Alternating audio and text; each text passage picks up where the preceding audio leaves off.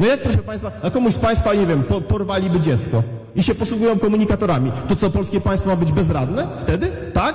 Bo przychodzi jeden i drugi y, pacan z Platformy, przepraszam, ja to muszę powiedzieć, bo i się boi, że dorwą, dorwą się do ich interesów. Ilu z Państwa korzysta z pieca gazowego? No ilu z Państwa? No właśnie. No właśnie. To chcę Państwa uprzejmie poinformować, że ekipa Tuska z, przegłosowała w Parlamencie Europejskim, że zaraz koniec. Koniec. Pompy ciepła kupować. Ja rok temu wymieniałem, ja, ja rok temu wymieniałem e, piec gazowy i teraz już znów, prawda, pompę ciepła. Zresztą ci z Państwa, którzy się o tym znają, to bardzo dobrze wiedzą, że sama pompa ciepła nic nie da. No nic nie da po prostu. W związku z tym, w związku z tym chyba, że, chyba, że koce będziemy kupować i tak będziemy w ramach uśmiechniętej Polski w tych siedmiu kocach się uśmiechać, prawda? To chyba, że tak. I uczelnie wyższe. Tu zostało, no niestety to Gowin za to odpowiadał. No wiecie Państwo, to, to, to jest tak, że w dużej części oczywiście, bo potem rzeczywiście kolega Przemek robił wszystko, żeby to nadrobić, ale z kolei prezydent mu wetował ustawy, no, no, no bo, bo też chciał się popisać po tamtej stronie. No wiecie Państwo, no było pełno tego typu problemów. Niestety, to trzeba uczciwie przyznać. Ktoś ten wszystkie dziadostwa w Unii Europejskiej podpisywał. Ktoś za to wszystko odpowiada. No proszę Państwa, to nie jest tak, że u nas nie, nie ma ludzi odpowiedzialnych.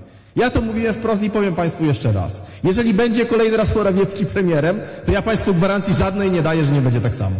No żadnej nie daję gwarancji. Po prostu my też musimy wyciągać wnioski po prostu i tak dalej. Pytacie o TVN. No kto zawetował TVN? No kto? No, no bynajmniej nie był to Bronisław Komorowski.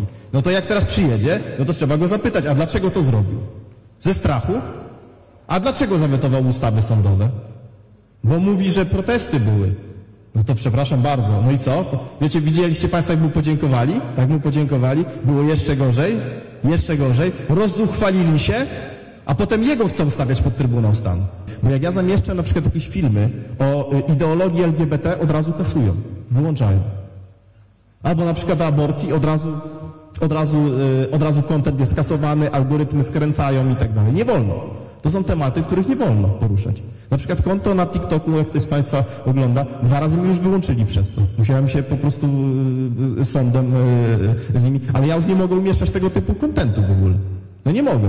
Ludzie nie mają prawa, młodzi ludzie nie mają prawa powiedzieć na przykład, z czym to się wiąże. Znaczy, z czym wiąże się ta szalona ideologia.